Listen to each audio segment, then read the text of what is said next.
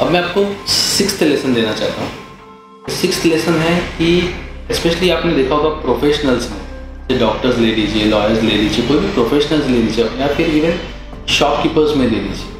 अपने कलीग के बारे में निगेटिव कमेंट करने का बहुत ज़्यादा टेंडेंसी होता है। दे फील ऐसा करने से हमको एक एज मिल जाता है, वो कॉम्पीट करते but actually this is spoiling the image of the entire fraternity so ये बहुत डेंजरस हो सकता है।